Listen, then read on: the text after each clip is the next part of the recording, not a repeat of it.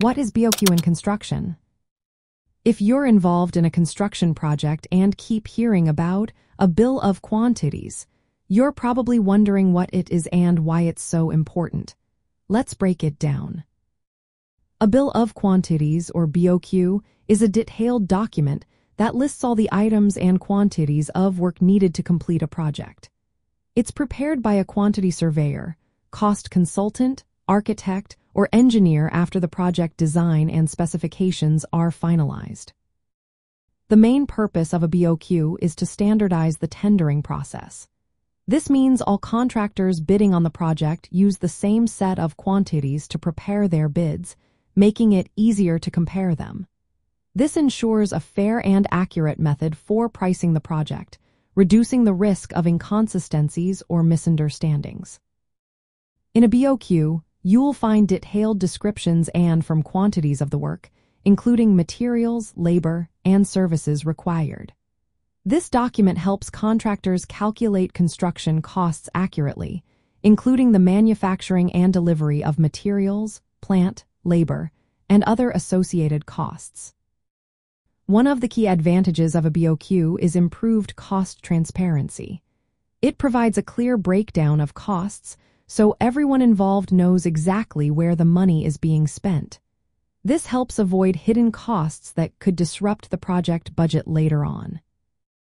A well-prepared BOQ also aids in accurate estimating and budgeting. By having a detailed list of materials and labor requirements, contractors can offer precise bids, reducing the chances of budget overruns. During the construction period, a BOQ is invaluable for project planning and scheduling.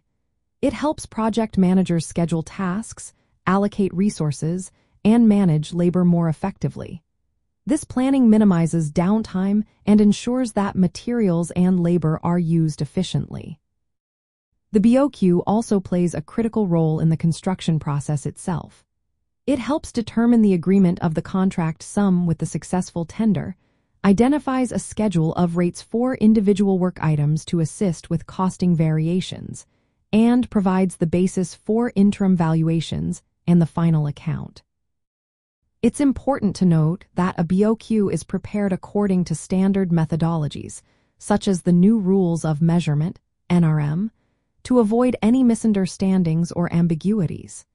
This standardization ensures that everyone involved in the project is on the same page.